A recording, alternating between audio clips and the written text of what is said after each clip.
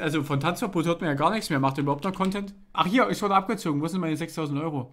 Komm, wir gucken uns das mal an. Leute, Doppelpiece. Das mache ich nur, weil ich weiß, Patrick, es freut Alter, euch, wenn ich Doppelpiece ihr mache. Wenn ich kein. Doppelpiece mache, so drei Leute schreiben, dass sie traurig sind. Und das will ich nicht. Ich will nicht, dass Leute nicht äh, traurig sind, weil ich eine andere Begrüßung mache. Aber dieses Thema, das ich heute anspreche, ist einfach absolut nicht Doppelpiece würdig. Und zwar geht es darum, dass ich von einer Bank mies in den. Ihr wisst es, wenn ihr älter als elf seid, wisst ihr ganz genau, was ich da meine.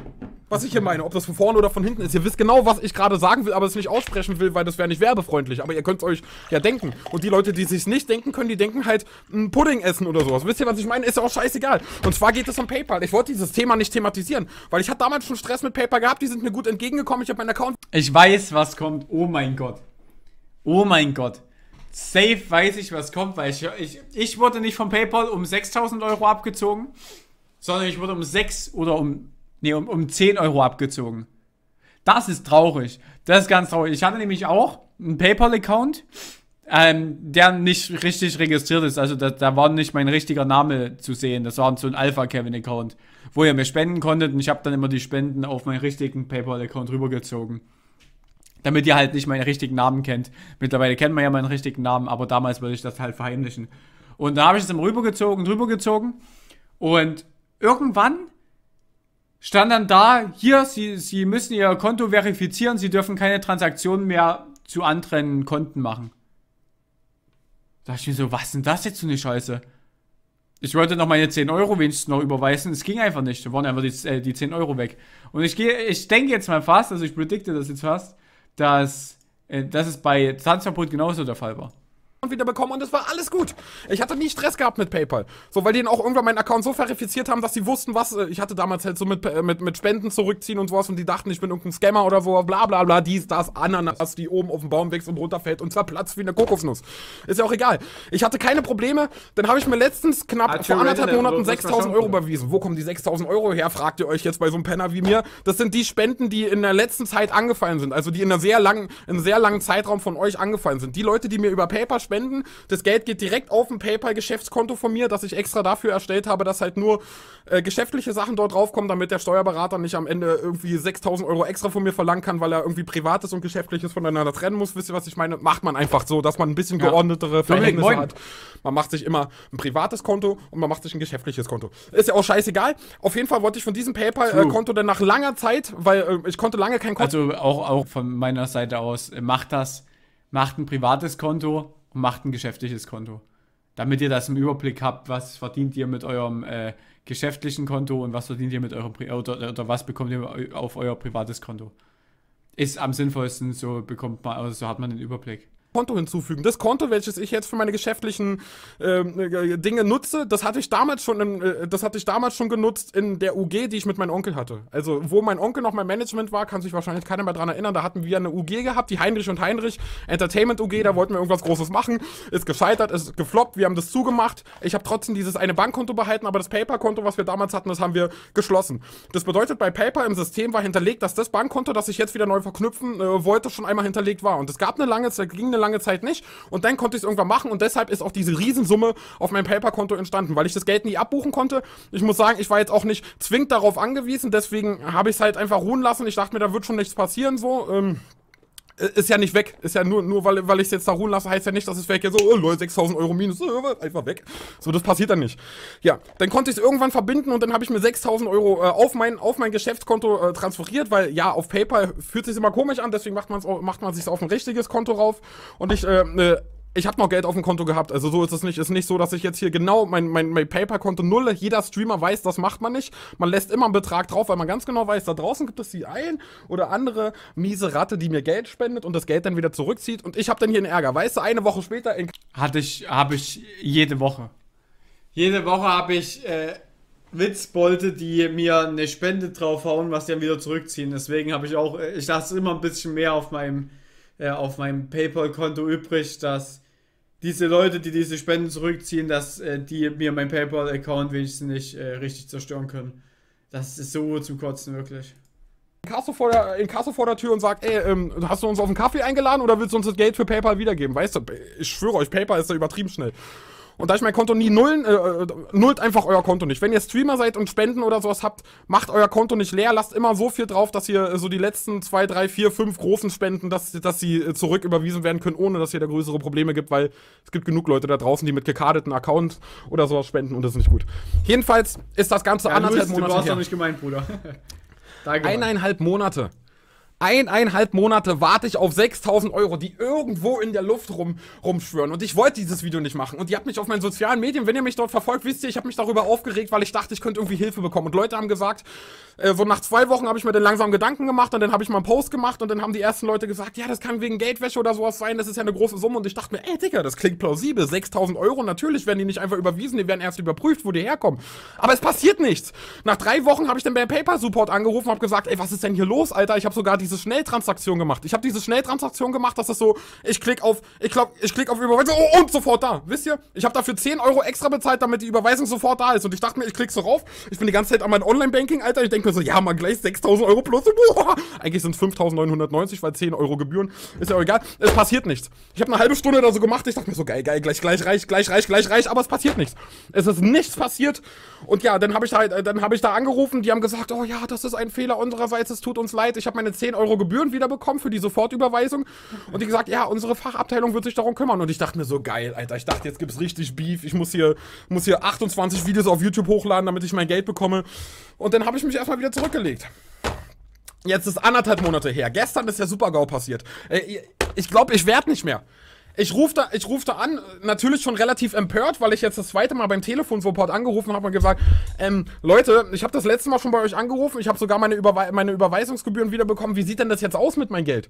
Also Gott sei Dank kann ich sagen, dass ich finanziell gerade noch nicht so am, am Limit lebe, dass ich jetzt auf die 6.000 Euro, äh, 6.000 Euro angewiesen wäre, aber geht doch mal davon aus, ich wäre ange darauf angewiesen. Stellt mal vor, 6.000 Euro, die anderthalb Monate irgendwo in der Luft rumschwören. Also natürlich brauche ich die irgendwann, weil das muss ja auch versteuert werden. Weißt du, das ist ja eine Einnahme, die auch als Einnahme schon so beim Steuerberater vorliegt. So, dann bezahle ich 3000 Euro Steuern auf etwas, was ich gar nicht habe. Wisst ihr, was ich meine? Ich stelle das mal vor, wirklich. Also er hat 6000 Euro Einnahmen. Diese Einnahmen müssen versteuert werden. Er hat ab, er bekommt die 6000 Euro aber nicht und er muss ja die Steuern davon zahlen. Also macht er komplett Minus. Also muss ich auch sagen, es ist eine schwache Aktion. Das war ja schon damals eine schwache Aktion von PayPal oder generell, äh, dass PayPal auch den Account von ähm, Tanzverbot gelöscht hat, weil über viele Leute die Spenden zurückgezogen haben. Ja, also das ist halt auch, klar, für PayPal ist das ein riesen Aufwand, das ist auch kacke, weil die müssen sich dann immer um eine Problemlösung kümmern und bla bla bla, aber weißt du, Tanzverbot kann halt nichts dafür und jetzt mit den 6000 Euro, Alter, das wird mich so abfacken. Also 6000 Euro, das ist ja unfassbar viel Geld. Eine so, dann mache ich 9000 Euro 6000 Euro, das sind 12.000 Mark, alle Eltern. Nee, ich denke alle Großeltern. aber ja, fühle ich. Minus so gesehen. So, nee, ist ja Schwachsinn. Aber 3000 Euro Minus würde ich so. Nee, das ist ja. äh, Nee, hä? Das ist ja eigentlich ist noch. Ach, ist auch egal. Wisst ihr, was ich meine? Und dann habe ich da halt angerufen und dann, dann fängt er an, mit mir Faxen zu machen. Dann, dann, fängt, dann fängt er da auf einmal, fängt er auf einmal an rumzulaufen. Ich sag das da, was da ist. Ja, äh, uns ist letztens erst aufgefallen, dass, äh, dass die Bank, die sie haben, in Kombination mit der Sofortüberweisung, da gibt's ein, äh, da gibt's Komplikationen. Ich würde Sie mal bitten, dass Sie sich bei der Bank melden und fragen, äh, ob das auf irgendein Sammelkonto angekommen ist. Ich sag, entschuldigen Sie mal, ich bin hier, ich bin Benutzer, ich bin Benutzer Ihrer Bank und Sie müssen sich doch gefälligst darum kümmern, dass mein Geld auf die Bank ankommt. Und er, und er labert mir irgendwie rum. Ja, das kann sein, dass Ihre Überweisung irgendwie fehlerweise, äh, fälschlicherweise irgendwie falsch äh, überwiesen wurde und jetzt auf, auf so ein Sammelkonto von der Bank äh, erschienen ist. Äh, äh, bitte kontaktieren Sie mal die Bank. Und ich dachte, also, ist das Ihr Ernst? Das ist doch nicht meine Aufgabe. Dann, wenn, das wenn hier irgendeine Transaktion verschwindet zwischen zwei Banken, das ist doch nicht meine, äh, meine, meine Aufgabe als Kunde von Ihnen, der auch schon übertrieben viele Gebühren gezahlt hat für, für irgendwelche Transaktionen und sowas, Lag dass ich mich darum eine kümmere, dass, gute ich, dass mein Geld kommt. Das ist, das sind zwei große Banken, die aufeinandertreffen. Das müsst ihr doch miteinander ausmachen und darum müsst ihr sich doch kümmern, dass, dass die Kunden da zufrieden sind. Und ich Idiot hab dann da aufgelegt, war dann völlig empört. Ich dachte mir so, Alter, lassen die mich hier gerade alleine? Tun die hier, haben die gerade wirklich, haben die wirklich gerade so gesehen gesagt, dass sie nicht wissen, wo die 6000 Euro sind? Dann gehe ich zu meiner Bank, hab da, hab da den Chat, äh, hab da den Chat geöffnet, hab mit denen geschrieben und ich so, ey, können Sie mir da helfen, bla bla bla, am, äh, am den und den Datum wurde eine Überweisung auf einmal, äh, auf einmal Robin, Robin hieß er, genau. Robin hieß der aus dem Support, der hat mir tut uns leid, uns liegt leider keine Transaktion vor. Ich denke mir so, nein. Nein, ich bin euch noch, ich bin hier bei dieser N26 Bank. N26 ist so lange geil, solange du keine Probleme hast. So weißt du, du kannst nicht einfach, du kannst nicht einfach irgendwo hingehen, wie bei Sparkasse oder sowas und reingehen und da aufregen und pöbeln.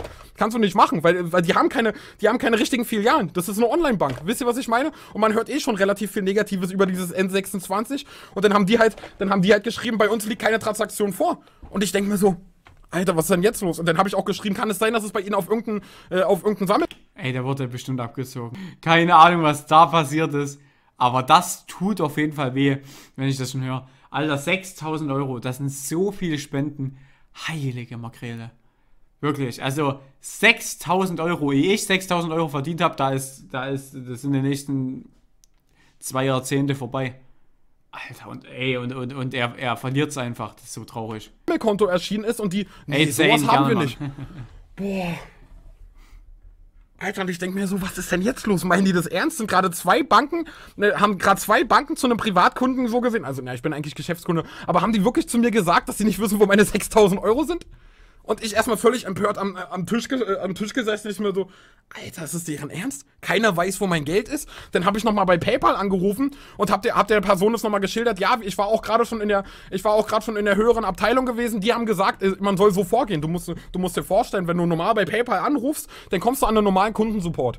So, und wenn die irgendwelche Fragen nicht wissen, also außerhalb von, ey, wie kann ich mein Passwort ändern, äh, bei allen anderen Fragen habe ich das Gefühl, gehen die dann eine Höhe Ebene und dann, ich muss die mal ganz kurz weglegen. Eine Höhe Ebene. Nicht eine Ebene höher. Leute, hört's mal zu. Da gehen die eigentlich nochmal eine Ebene höher. Eine Höhe Ebene. Alter, das ist ja so stark. Ein Kundensupport.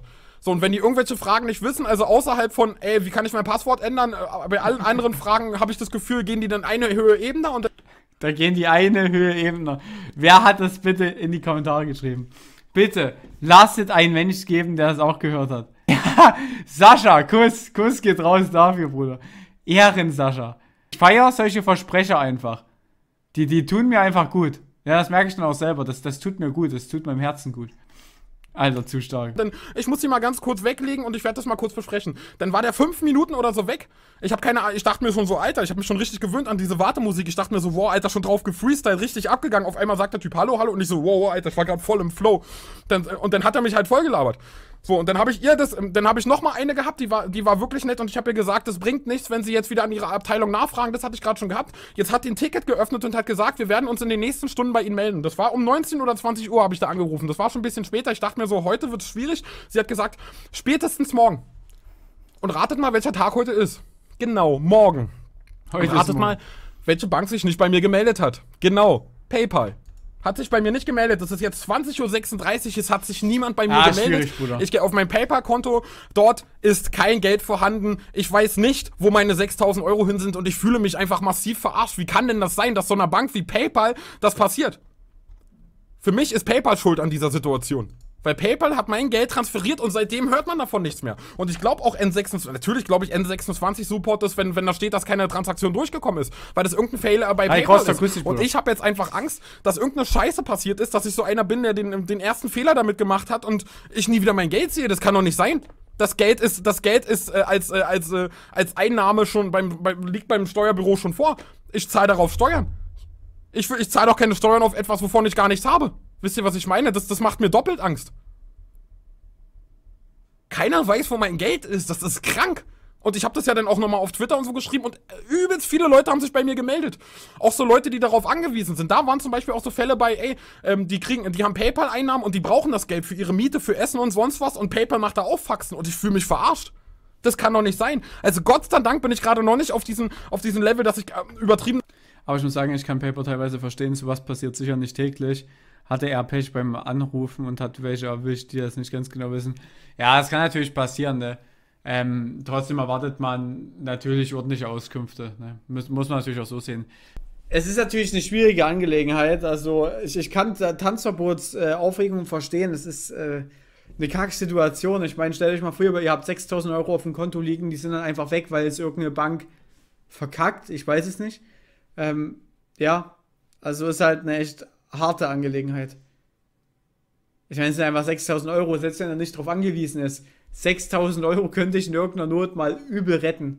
Du kannst mit 6000 Euro so viel machen, du kannst dir ein Auto kaufen, du kannst dir einen ordentlichen Urlaub bezahlen oder mehrere Urlaube bezahlen. Es ist halt vieles am Start.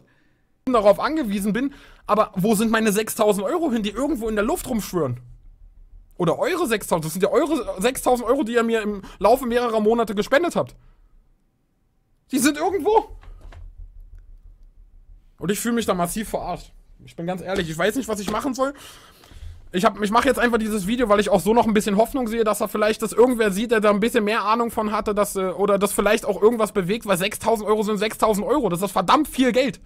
Und keiner, und keiner der zwei Banken weiß, wo das Geld hin ist.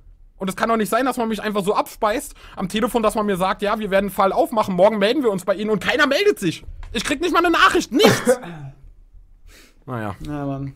Gut, das war das Video. Ja, es Tut mir leid, dass ich 12.000 jetzt schon wieder so rumgemeckert habe. Doppelpiece. Ich will gar nicht wissen, wie viel das Yen ist. Ja. Oder wie viel das äh, diese vietnamesische Währung ist. Das, das sind dann viele Millionen oder Milliarden.